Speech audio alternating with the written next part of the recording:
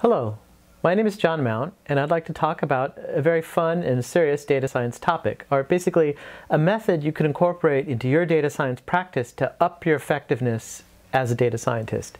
It's basically do not use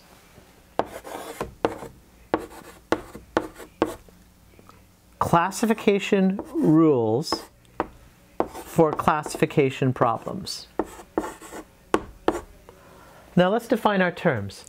A classification problem is a problem where your dependent variable, or the thing to be predicted, is a categorical, like yes or no, or um, A, B, and C. And basically your training data would then be explanatory variables that might predict that outcome variable, and which category it's supposed to be in. Now, a classification rule is a piece of software or mathematics that makes the same sort of determination. If it's in the true class, maybe this would predict true, hopefully, or maybe false, not hopefully. Now what we're saying is never use a classification rule for a classification problem. There's sort of fun, uh, sort of a horrid little industry in writing articles about whether logistic regression is a classifier or not. Uh, you can be called wrong either way because internally logistic regression returns a probability instead of a hard decision. And that is actually its saving grace, not something to be avoided. So in a software point of view, all it means is in Python, remember to call predict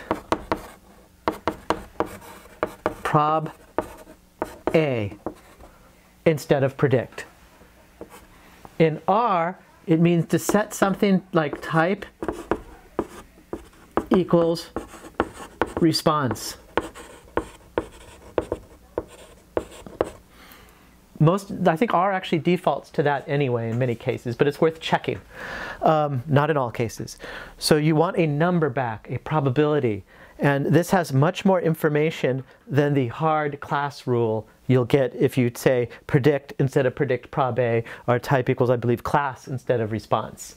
Now, the reason is most classification rules are in fact underlying numeric or probability scores, and then they compare that score to a hard fixed threshold of one half, hard-coded threshold of one half, which is usually not a good choice for data sets with imbalanced data. In fact, we think most of the engineering steps people take in dealing with imbalanced data is an attempt to work around the mistake of using a hard-coded threshold like a half to build a classification rule from the much more valuable underlying score. Now, I have some notes on this where I say this much more slowly at a URL that I'll give on the screen. Now, the, um, this has gotten me thinking. This is just actually really good advice, which I think I can back up. But this has also got me thinking, and this is sort of an advanced topic now. Not that you won't, not that a beginner wouldn't understand it, but that a beginner would be unwise to repeat it to someone else because they may be subject to criticism. But basically, what if classification problems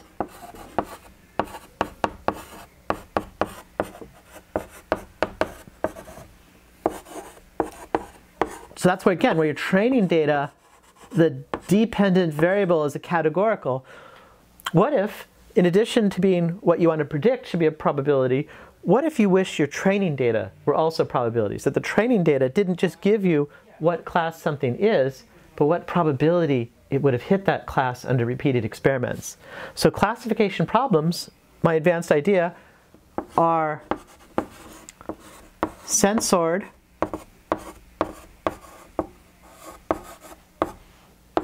training data.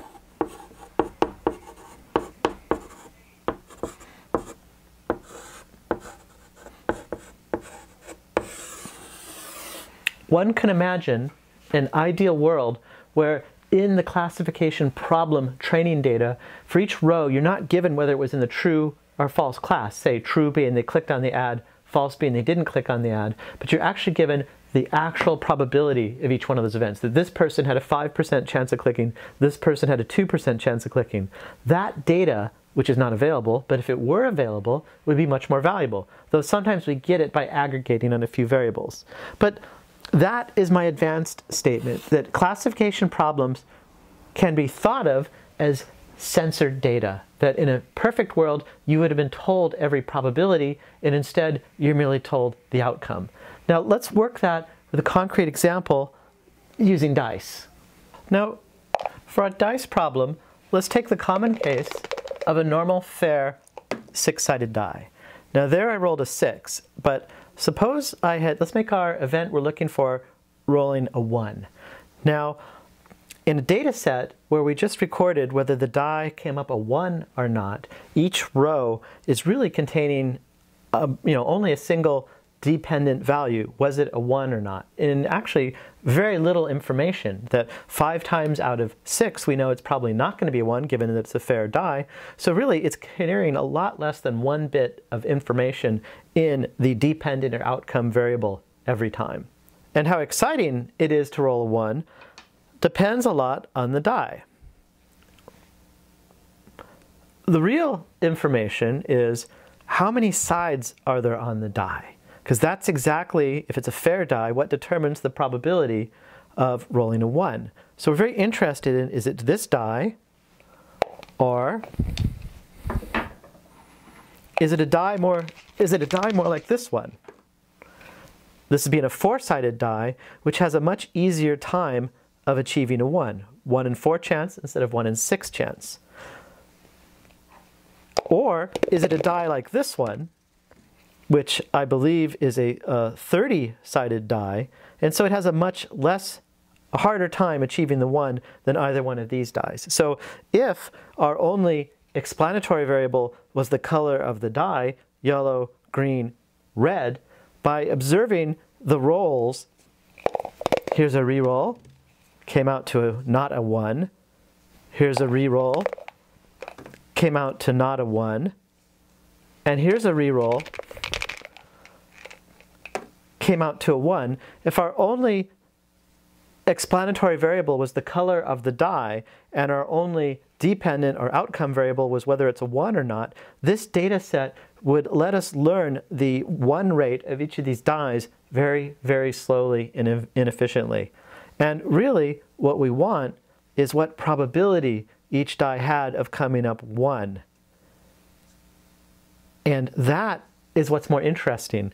That that sort of data, if available, and it becomes available through aggregation. If we had a lot of rows, we could average all the yellow rows into one row that shows the rate of ones coming up instead of each individual row. And then do something like beta regression instead of logistic regression, mathematically very similar but a much faster algorithm if the right data is available. So what I'm saying is the description of the die is more useful than any one roll. And that's what I mean by classification problems are an instance of censored training data. If every time this was rolled, instead of just saying whether it was 1 or not, we said how many pips or what the number shown was, then the model could actually quickly learn the range of the die and much more efficiently and fast infer the consequences of being yellow, red, or green.